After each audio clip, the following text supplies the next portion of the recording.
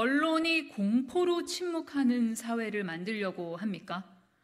국민의힘이 김한 국민의힘이 김만배 신앙림 허위 인터뷰 의혹과 관련해 현안 질의와 청문회를 요구하고 나섰습니다. 정말 황당무계합니다. 야당의 1특검 4국조 요구에는 이런 방구 언급도 없더니 뻔뻔하기 짝이 없습니다. 일고의 가치도 없는 주장입니다. 청문회 요구보다 더 어처구니 없는 것은 김기현 대표의 광폭한 말들입니다. 김기현 대표는 사형에 처할 국가반역죄도 부족해서 1급 살인죄에 비유했습니다. 언론인들의 목숨줄을 쥐고 있다고 협박하려는 속셈입니까?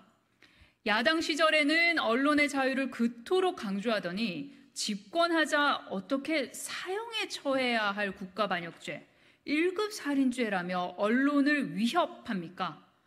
그때와 지금 달라진 것은 언론의 보도 행태가 아니라 용산 대통령실과 국민의힘의 입맛입니다. 지금 정말 필요한 것은 윤석열 정권의 언론 탄압과 방송 장악 시도에 대한 국정조사입니다. 정부에 대한 언론의 비판을 가짜뉴스도 부족해 국가 반역죄라 낙인 찍고 심지어 살인죄, 폐간을 운운하며 협박하는 윤석열 정권이야말로 헌법 질서를 뒤흔들고 있습니다. 윤석열 정권과 국민의힘은 대한민국을 공포로 운영하려는 것입니까? 정권의 칼춤이 두려워 언론이 침묵하는 나라를 만들려는 것입니까?